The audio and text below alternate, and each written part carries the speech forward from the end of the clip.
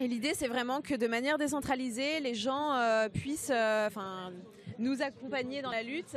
Et c'est souvent aussi des gens qui sont eux-mêmes en lutte. Enfin, je vois en Grèce, en Espagne, il y a des gens hyper mobilisés, euh, même aujourd'hui. Et euh, l'idée, c'est que ces gens-là bah, profitent de ce qui se passe en France pour créer une espèce de situation de contestation et de résistance. Et puis finalement d'apprendre aussi les uns des autres dans nos luttes respectives, j'imagine. Ouais, complètement. Alors du coup, ça, c'est là que vient euh, notre euh, week-end du 7-8, qui est un week-end de rencontres internationales. Et le but, c'est vraiment de, euh, de- là cette fois d'inviter les internationaux à converger vers Paris et euh, de. C'était 8, on parle de demain et après-demain. Ouais, c'est ça. Bah, En fait, en vrai, euh, ça a déjà commencé parce qu'il y a beaucoup d'internationaux qui sont déjà sur la place. D'accord. Euh, On parle de quoi? D'espagnol, de grec? Euh, là, on a Souvent, on pense pas à mal Podemos et, d'espagnols, euh, ouais. beaucoup d'espagnols, beaucoup d'italiens là ce soir. Ah ouais Euh, on a quelques grecs.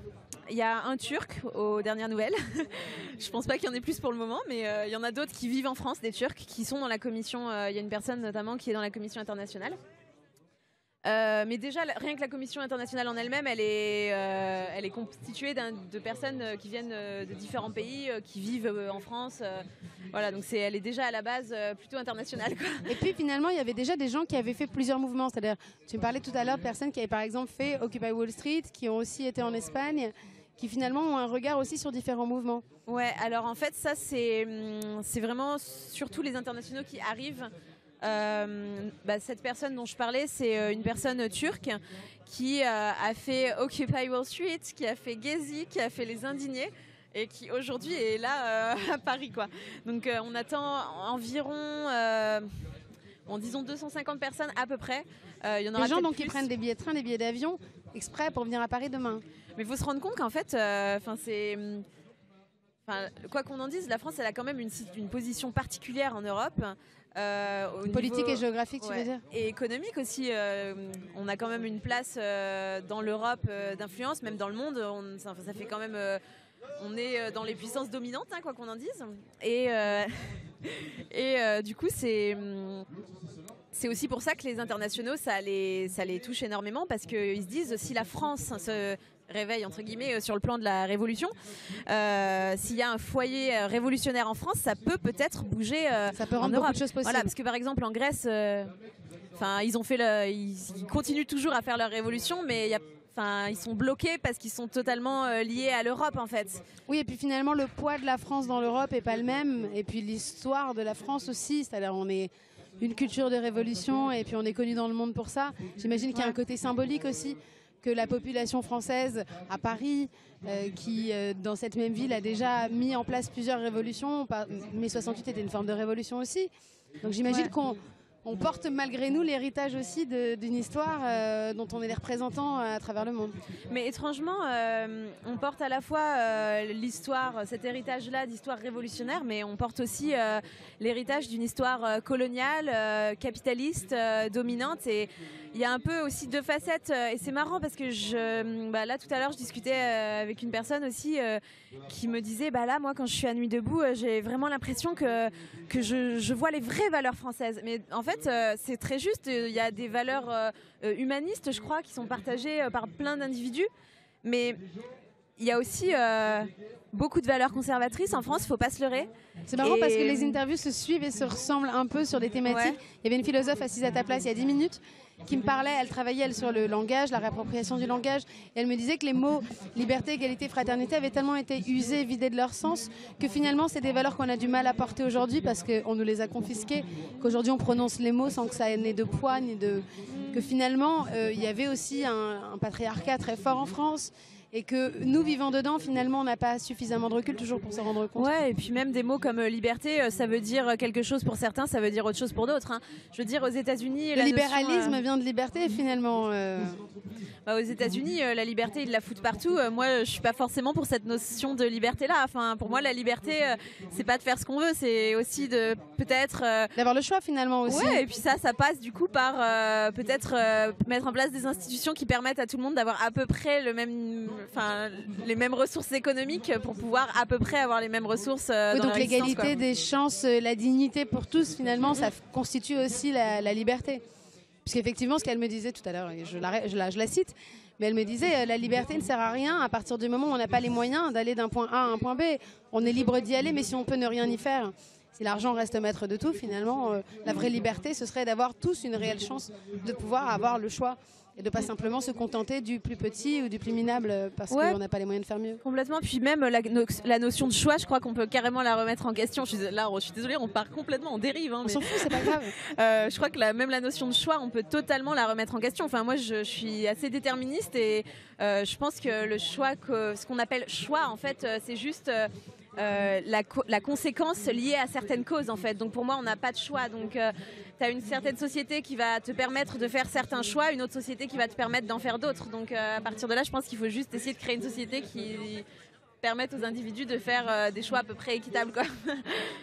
Mais du coup, tu, tu, sens quand même que dans ces différents mouvements et dans ces différents dialogues, il y a donc des valeurs communes, quel que soit le pays, qu'il y a quand même des revendications qui sont finalement ah ouais. humanistes et pas du tout françaises, parce qu'on voit que Nuit debout, c'est pas du tout Paris, c'est même pas que la France finalement, c'est vraiment aussi un, mouvement euh, individuel, citoyen euh, à travers le monde, de, l'être humain, de l'individu, de, de, réclamer le droit à euh, un champ des possibles finalement. Euh, ouais, je, trouve vraiment qu'il euh, y a une convergence des luttes, une convergence des luttes internationales.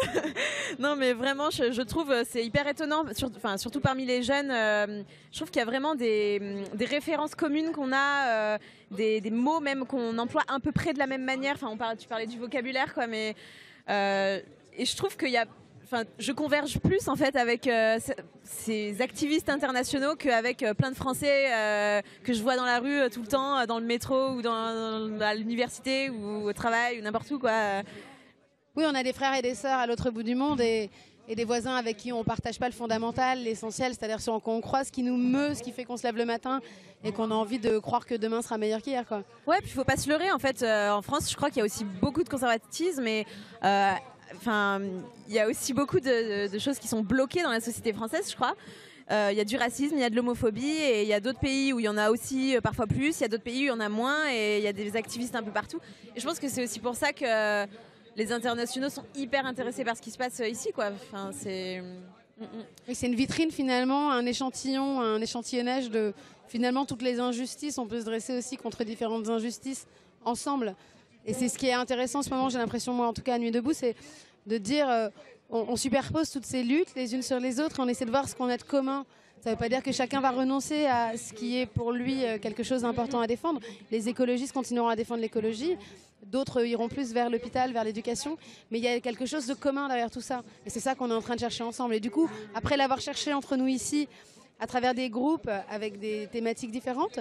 On a commencé à échanger avec des villes en France et maintenant on commence à se répandre à l'international. Donc c'est vraiment une réflexion globale sur qu'est-ce que le monde de demain bah pourrait en fait, être et devrait être. Forcer... Enfin, c'est forcément global, je crois. Enfin, on... enfin, moi je suis très. Ma vision elle est hyper internationaliste. Je, enfin, je crois qu'une une révolution qui réussira, elle sera forcément euh, internationale en fait, parce qu'on vit dans un monde qui est globalisé. Et tous les pays, ils sont liés, intimement liés, et l'oligarchie, en fait, elle est pas nationale. Enfin, je veux dire, Hollande, faut pas, enfin, moi, je oui, il n'y a pas de frontières. Faut pas se leurrer. Hollande, c'est la marionnette euh, d'aussi euh, d'autres personnes qui sont au-dessus. Les firmes, elles sont, euh, enfin, les, les entreprises, elles sont internationales. Il y a plein de transnationales. Enfin, ouais, je pense oui, que... les, les, les, gros conglomérats, euh, c'est-à-dire le, le, les maîtres du monde aujourd'hui, finalement, c'est une quinzaine, vingtaine de sociétés structures euh, titans, en gros, qui englobent tellement de choses qu'on a du mmh, mal à suivre parfois. Et c'est ces individus-là qui, finalement, tiennent en otage aussi les chefs d'État et qui empêchent que les véritables changements euh, démocratiques puissent se faire parfois. Du coup, je pense que Enfin, toute bonne révolution qui se respecte, à mon avis, elle sera internationale. Hein. je pense qu'en Europe, euh, c'est aussi un peu la preuve de ça, enfin, dans un certain sens, parce qu'il y a eu des révolutions là depuis 5 euh, ans, ça a déjà un peu explosé à plusieurs coins d'Europe et ça n'a pas vraiment explosé et ça n'a pas vraiment eu d'impact pour les peuples. Du coup, euh, et je pense que ça, les gens, ils s'en rendent compte. Et... hum, En fait, on se rend compte qu'à le faire chacun dans son coin, on n'y parvient pas. Donc on essaie de le faire ensemble. Mmh, complètement. Puis euh, c'est vrai que je pense qu'on a énormément à apprendre des, des, internationaux qui vont venir ce week-end. Parce que c'est des gens qui ont vraiment une expérience, euh, qui ont vécu des mouvements, qui ont vécu de la répression policière, qui ont eu même les mêmes questionnements que nous. Enfin, je veux dire, le nombre de, questions qu'on se pose, mais tous les jours euh, sur des trucs débiles d'organisation, de gestion de conflits internes, ou de est-ce qu'on crée telle commission, ou les processus démocratiques, ou comment la logistique s'organise. Et en fait, toutes ces questions, c'est des questions qu'ils ont potentiellement euh, déjà dû affronter. Donc, euh, Ah, Finalement, la langue, c'est une forme, mais le fond, c'est le même. Comment s'organiser à plusieurs dans une direction commune et Mm. comment on laisse la place de chacun tout en s'organisant un minimum pour que les choses soient durables et qu'elles Mm. se construisent aussi. Quoi. Après, on a, c'est sûr qu'on a des ennemis euh, différents, euh, des, on vit dans des localités différentes avec des réalités différentes, mais globalement, euh, et c'est ça qui est intéressant aussi, je pense, euh, on va discuter des différences et des, des similitudes, quoi. Et alors, on fait quoi ce week-end? C'est quoi le programme? Alors, euh, ce week-end, on va commencer par euh, une assemblée générale demain, euh, qui va permettre d'accueillir les internationaux et À la même heure que d'habitude? Non, ce sera plus tôt parce qu'on est très motivés et que le week-end est court et que les internationaux sont là pour peu de temps, D'accord. à 10h. À 10h Ouais, Wow. j'espère que tu es motivé. Je suis pas sûre d'être là demain à 10h, mais comment dire Je suivrai ça. Très bien. Mais du coup, on commencera vers 10h, 10h30, le temps d'installer le matos. Euh, donc, accueil des internationaux, on leur donnera la parole pour qu'ils puissent euh, un petit peu se présenter. Vous avez prévu des traducteurs Vous avez prévu. euh, Ouais. mm, mm. Après, il y a pas mal de traducteurs qui vont venir sur le, le moment et qui sont prévenus. Et on s'organisera sur place en fonction des besoins. Parce que c'est vrai que c'était très dur pour nous de savoir quels sont les besoins parce qu'on ne peut pas à l'avance savoir. Euh, euh, Il y a beaucoup de gens qui sont polyglottes, mais après, c'est dur de savoir euh, qui parlera pas telle langue ou telle langue. Bien sûr. Du coup, euh, voilà, il y aura cette euh, assemblée pour présenter. Et après, on aura un open mic pour que les gens réagissent. Et l'après-midi sera constitué. Moi, je suis très enthousiaste pour l'après-midi. Alors, en gros, on aura quatre ateliers euh, sur euh, les différents modes d'action. On a, enfin, on a fait un choix. hein. C'est sûr que on a dégagé quatre euh, modes d'action principaux. Euh, on a résistance, donc tout ce qui est occupation de place, euh, sitting. Bon, je pense que ça va aussi pas mal parler de la violence. Est-ce que euh, comment on se positionne, voilà. Les occupations de, je sais pas, McDonald's ou les manifestations, même c'est une forme de résistance. Ensuite, on aura un atelier sur les alternatives. Donc là, c'est plus alternatives de vie. Comment on s'organise autrement, marché local, monnaie locale éventuellement, expérience d'une autre forme de démocratie. Euh, ensuite, on aura plaidoyer. Euh, donc là, c'est plus euh, tout ce qui est influence, pression sur le gouvernement, comment les, les différentes organisations, associations peuvent faire entendre leur voix. Oui, à travers le légal, donc en, Ouais, en plutôt. politique politicienne. hein. Et après, il y aura communication internationale. Donc là, c'est vraiment la mise en place de réseaux internationaux et comment mettre en place des réseaux de militants pour s'organiser. Voilà. Après, en fin de journée, on aura, en fin de journée, on aura un dernier atelier sur l'organisation du Global Debout, donc le 15 mai. Euh, et ensuite, pour le dimanche, on commence tôt aussi parce qu'on est très motivés et que les internationaux seront là pour euh, décharger le camion et installer le matos. C'est beau, ça va aller vite. C'est beau. Et euh, du coup, là, on commencera aussi vers, euh, on a dit plutôt 11h, mais euh, euh, on aura une action, en fait, qui reste secrète pour le moment, D'accord. euh, sur la place. Après, À partir de euh, 11h Ouais. Euh, et l'après-midi, là, on a laissé main libre aux commissions euh, pour qu'elles puissent organiser leurs euh, leurs propres débats, leurs propres discussions sur des thèmes euh, internationaux. D'accord. Euh, donc, euh, on a recueilli euh, déjà un peu pour euh, organiser le planning. On aura des discussions sur TAFTA avec euh, l'association Stop TAFTA. On aura euh, des choses sur l'Europe, sur les migrants, sur euh, les lobbies, sur euh, les processus démocratiques. Voilà, il y aura pas mal de sujets qui seront l'environnement aussi. Voilà, et pas mal de sujets qui seront abordés. Qui sont communs finalement à, Ouais. à beaucoup de pays. Mm, mm. Puis après, euh, la journée se finira avec le processus démocratique à 16h. Donc, C'est un test, c'est ça? Voilà. Donc là, c'est plus de notre commission qui organise ça, c'est la commission démocratie.